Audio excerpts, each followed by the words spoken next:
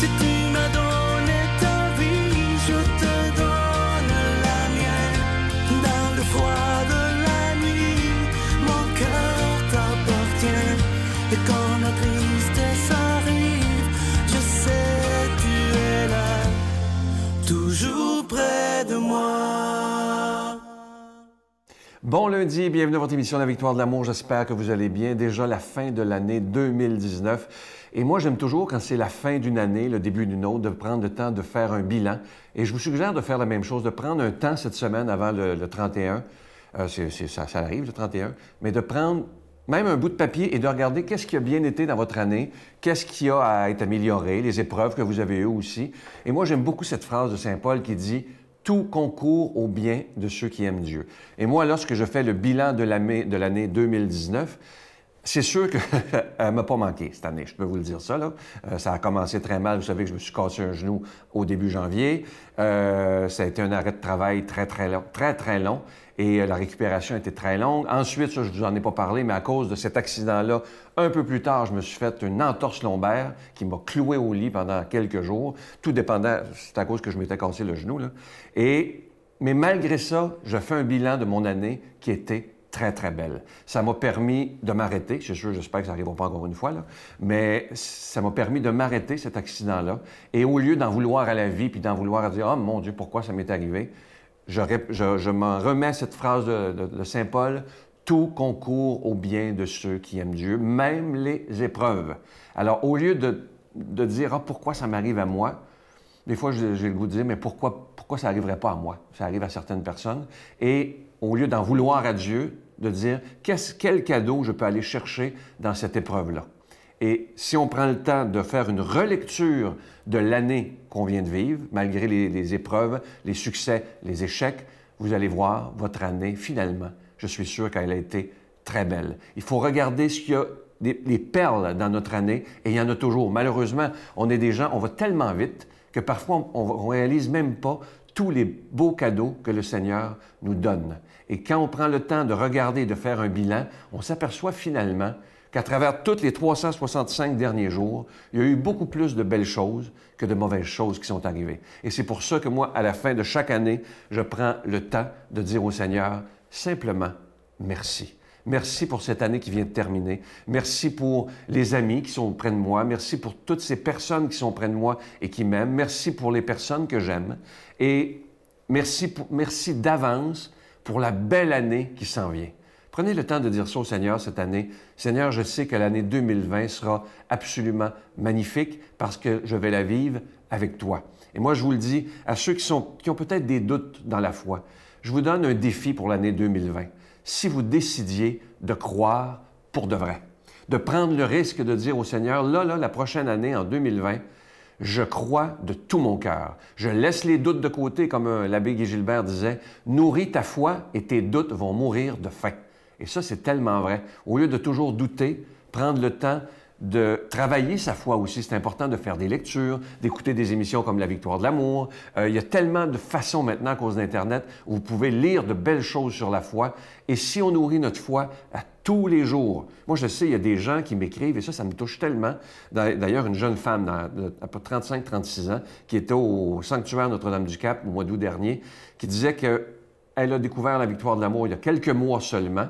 Elle n'était pas croyante et maintenant elle a donné sa vie à Jésus. Pour moi, ça, c'est plus, la plus belle chose qui peut arriver. Et cette jeune femme-là dit maintenant, son, repas du matin, son repas spirituel, c'est la victoire de l'amour. Alors je vous invite à devenir des croyants et laisser Dieu être Dieu dans votre vie pour l'année 2020.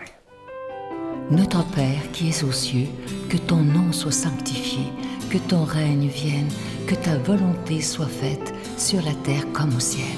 Donne-nous aujourd'hui notre pain de ce jour. Pardonne-nous nos offenses comme nous pardonnons à ceux qui nous ont offensés. Ne nous laisse pas entrer en tentation, mais délivre-nous du mal, car c'est à toi qu'appartient le règne, la puissance et la gloire pour les siècles des siècles. Amen. Dans le cadre des festivités du 25e anniversaire de la victoire de l'amour, nous vous invitons à un pèlerinage inoubliable en France en compagnie du père Michel-Marie-Brigitte Bédard, Miguel Padilla et la participation occasionnelle de Sylvain Charon. Nous visiterons Lourdes, Saint-Malo, Mont-Saint-Michel, Lisieux et Paris. Nous assisterons au spectacle musical Bernadette de Lourdes qui attire des foules du monde entier. Célébration eucharistique avec le père Michel-Marie du 25 septembre au 6 octobre 2020. Information 1 877 277 4412.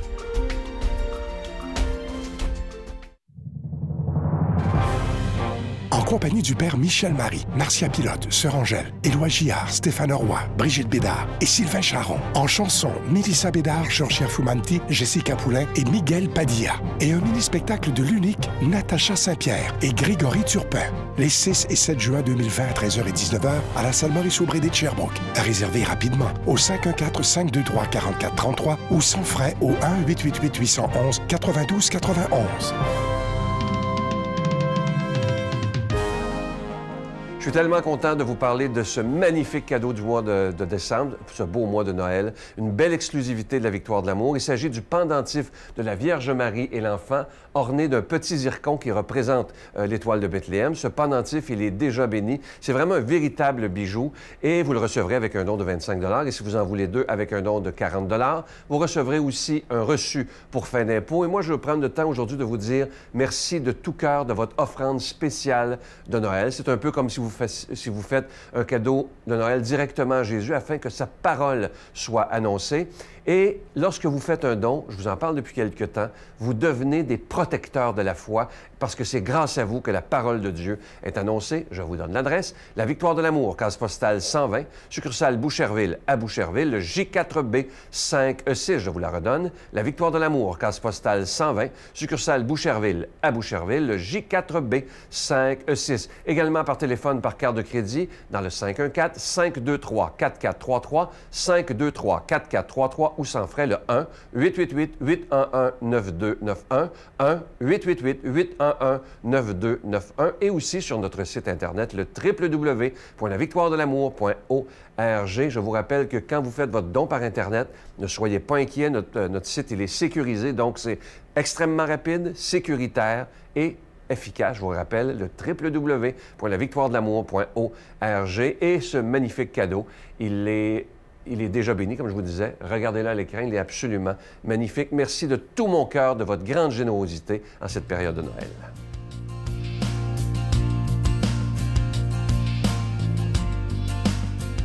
Mon Dieu, donnez-moi la sérénité d'accepter les choses que je ne peux changer, le courage de changer les choses que je peux et la sagesse d'en connaître la différence. Amen. Aujourd'hui, la parole de Dieu proclamée par notre ami, l'abbé Éloi Giard.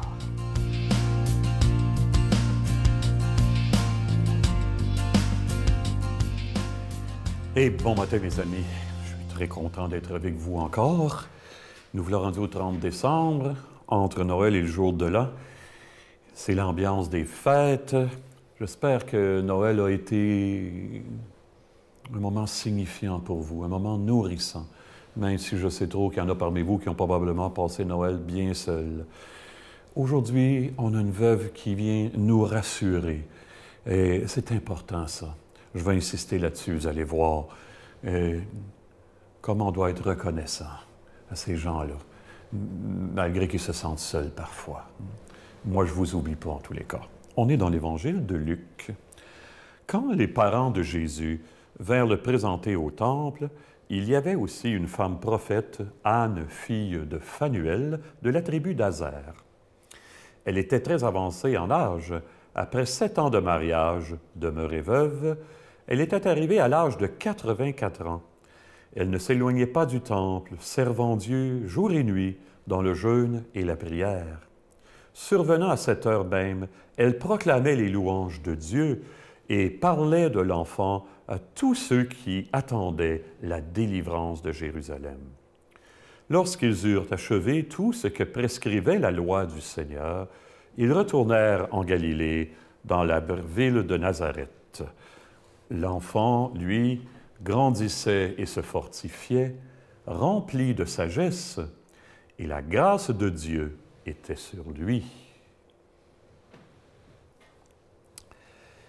Il y a deux ans environ, c'était pendant les fêtes, je revenais d'aller faire une commission dans ma paroisse à, à Marieville et nous, avons, nous avions à ce moment-là une crèche euh, pas loin du bord de la route, devant l'église, là, du chemin. Et, euh, j'aperçois euh, une jeune fille. J'étais à peu près à quoi 300 pieds, deux arpents à peu près, pour ceux qui savent ce que c'est deux arpents. Là. Bon, j'ai, bon, j'étais à peu près à 300 pieds. Puis j'aperçois une jeune fille d'à peu près 12-13 ans qui était agenouillée devant la crèche et qui prenait toutes sortes de poses un peu excentriques, supposément des poses de prière. Et il y avait un homme à côté d'elle, probablement son père, qui prenait des photos. Et il s'amusait beaucoup.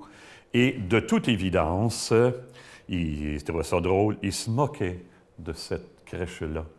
Et euh, ça ne leur disait rien, ça ne représentait rien pour eux, de toute évidence. Hein.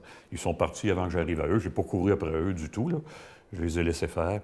Par, leurs attitudes, leur attitude, je, sentais euh, que ils étaient loin de la crèche et en même temps d'eux-mêmes, et euh, incapables d'accueillir l'amour qui a tout risqué pour eux. C'est bien ça, Noël. Hein?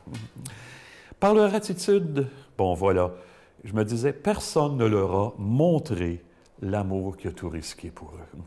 Ou en tout cas, ils n'ont pas été touchés si des gens leur ont montré. Si je les avais rencontrés, je leur aurais dit comment ils avaient changé complètement ma vie, moi, au point que je la risquais pour les autres. Euh, le faire du bien aux autres, ça devenait ce qui avait de plus important pour moi. Eh bien, justement, l'Évangile nous présente un matin une femme qui, est le signe de toutes ces femmes. Puis hier, on avait Siméon, de toutes ces femmes et ces hommes qui ont tant fait pour les autres dans notre monde, qui ont tant fait pour transmettre l'essentiel. Et je voudrais vous rendre grâce à toutes ces femmes et ces hommes. Je voudrais en profiter ce matin. Puis ça, me touche particulièrement parce que Anne nous, nous a dit qu'elle a, 84 ans. C'est l'âge de ma propre mère. Ma mère a 84 ans, figurez-vous donc. Et Anne, euh, l'air de rien, il nous en est dit plus qu'on pensait, hein, parce que euh, c'est bien dit, Anne, fille de, euh, fille de Fanuel de la tribu d'Azer. Savez-vous que Bon, alors, Fanuel, ça veut dire Anne, ça veut dire grâce. Fanuel, ça veut dire Dieu et lumière.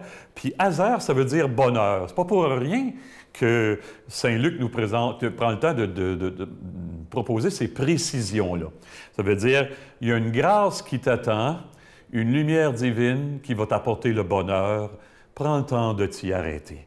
Hey, merci pour tous ces hommes et ces femmes qui, comme Anne, ont montré la lumière divine à travers leur amour, leur dévouement, leur don d'eux-mêmes. Je rends grâce à Dieu aujourd'hui pour vous tous et toutes. Votre vie de don de pardon nous aide toujours, bien plus que vous pourriez l'imaginer, à croire que le monde a un sens qui va vers l'amour, l'amour capable de tout ouvrir. On compte sur votre regard comme sur celui de Anne qui a su regarder cet enfant-là continuez à montrer un regard, même si c'est pénible pour vous, vous avez l'impression d'être seul et de ne pas être compris. Le regard qui espère, comme celui de l'amour de Dieu en nous. Et je demande à Dieu spécialement à matin de vous bénir et de nous bénir, lui qui est Père, Fils et Esprit Saint. Amen. Ayez une bonne journée. Je rends grâce encore de tout mon cœur pour vous. Amen. Je vous salue Marie pleine de grâce. Le Seigneur est avec vous.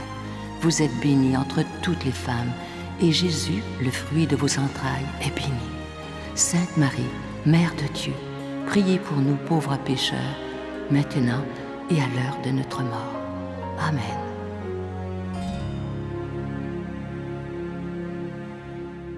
Je vous laisse avec une belle pensée qui dit ceci. Écoutez, la bien, dans le fond, ça montre la différence si on voit les choses positivement ou négativement. Écoutez bien la pensée. Vous pouvez vous désoler que les roses aient des épines, mais vous pouvez aussi vous réjouir que les épines aient des roses. Je vous souhaite une superbe belle journée. À demain. Bye. Et l'un des points qui est important pour rester ensemble, c'est euh, la communication. Et dans la communication, il y a le pardon. De dire à l'autre, je ne suis pas parfait, je m'en suis aperçu, est-ce que tu l'acceptes? Et de regarder le regard de la personne en face de vous. Et là, immédiatement, le couple avance.